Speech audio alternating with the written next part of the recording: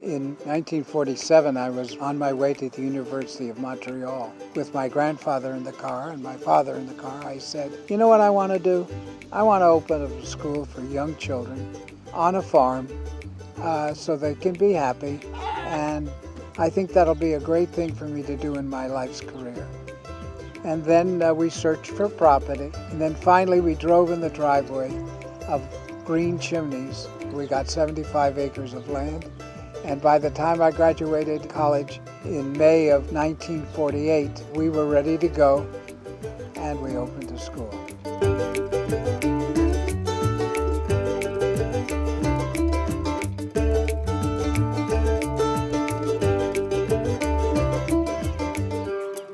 By the time a child comes to Green Chimneys, they have failed academically, behaviorally, or socially.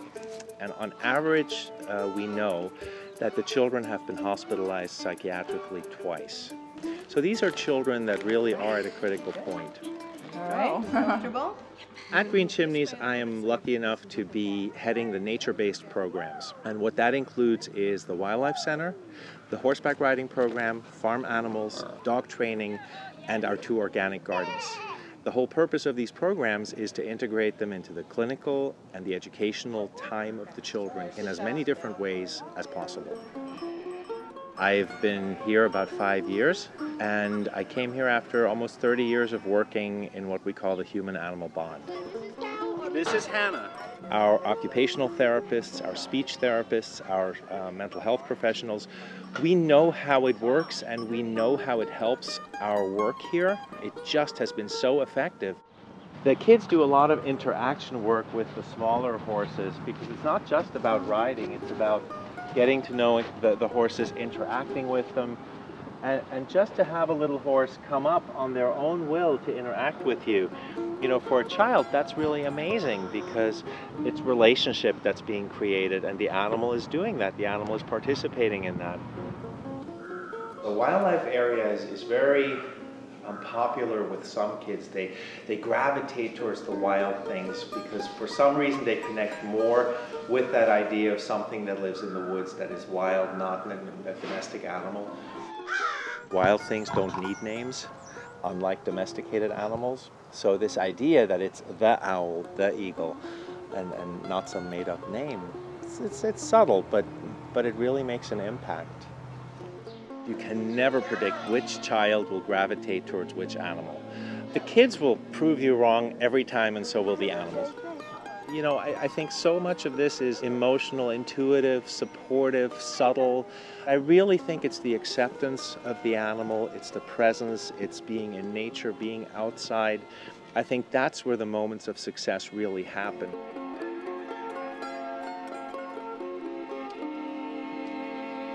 For most of our children, the presence of the animals sets a tone for the program.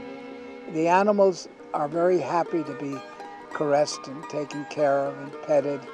And I think that the children get the idea that here they are in a leadership role, that they can really impact the life of that animal. The teenagers work and train our service dogs. We start setting goals very early in the class. This puppy, by the time December rolls around, has to know 35 commands.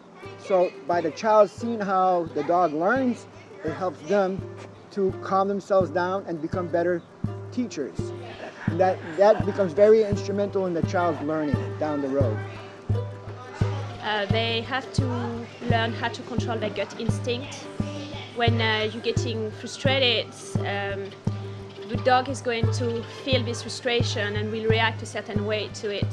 So the kid, if he wants to be able to train a dog, will have to control all this emotion to receive a response from the dog who's acceptable. The kids learn how to control all these emotions. I hope the animals bring to them a sense of belonging, a sense of responsibility and caring for them, and that as they care for them, they realize that the animals also return this through love and attention to them. And they're learning the skills of becoming parents themselves and being future citizens. I think the animals bring that to them. There you go. In 1995, There was a TV segment um, aired in Japan that was on um, green chimneys. And it was a story about a child who was attached to the animal and how animal healed the child. And when I saw it, I had to quit my job in Japan, apply for an internship, and then I moved here in 1997. I came here the first day. I was told to walk a horse. I've never walked a horse before. And the first day I walked a couple horses, met a couple kids. I just thought this was just the best thing in the world that I've ever done. Green Chimneys has about 650 great people who work in all of our different programs. And most of them are drawn to Green Chimneys because they sincerely want to do something good in their life. They want to contribute. Joe has been here many, many years. This is Pete, one of our volunteers. Paul, it's Colleen and Susan. When you come here, your interest is focused bigger than it might have been where you came from. It's all centered around the children and the animals. Every animal has a story who comes to Green Chimneys. He is um, a llama that actually was trained to be a therapy animal. And uh, both him and Lily go into nursing homes and uh, they're, they're actually trained to kiss people. Um, we get a lot of animals from animal care and control, from humane societies, and uh, we try to sort of see if the animal fits into our program. We're unfortunately not a limitless animal shelter, so we get way more animals offered to us than we can take in. But if the animal kind of fits into the program, it has a home for life. The first thing that students do when they come back to visit, no matter how old they are, they head up to the barn to see the animals, and many times they ask, where is a particular animal, and they're really surprised to see that the animal is still living a, a good life. Got a phone call from a young man who said he was in medical school and he had been a Green Chimney student. And then he sort of talked about a sheep that he worked with when he was a student here. And he said, you know, Hazel was the greatest, but I'm sure she died a long time ago. I right away said, Hazel, black and white sheep, and said, that sheep is still here. And he was totally emotional. And what that really showed is the, the strong connection that these animals have on the kids. And when he came for a visit the week after, you know, he couldn't remember the names of his teachers, his therapists, he barely knew any of the people. But it was the sheep that he remembered. Animals never judge you and never think about your story. They have no clue what had happened before. It's all about now. How do you react and how do you feel right now? They don't lie. you know, like every day the kids taught me something different, horses taught me something different.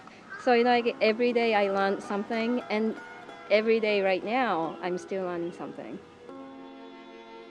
You know, so many of the children today grow up in shopping malls, they grow up on the computer, playing video games, and unfortunately have so little access to the natural world. So just here, having them experience the seasons and taking care of the animals and learning that nature takes time and that instant gratification isn't part of growing a tomato. You know, you need to wait months. Um, th those are the lessons that frame their time at Green Chimneys. And our staff actually benefits from that too. My, my hope for the future is that we will be able to export this idea to both the public schools and to private schools and to children's homes throughout the world. You don't have to have the extensive animal collection that we have, but you can get some kind of an animal program going. Children like animals, and what we want to do is build up on that and uh, make sure that they understand why the animals need their care.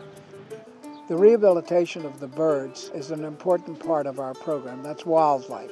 What happens is that as the bird is ready to be released and a child is ready to go home, the child releases the bird with the staff, and we all wish the bird well that he will be able to sustain himself in the wild, and at the same time we're saying that you will do well and that you'll have the strength to uh, continue and be a wholesome adult.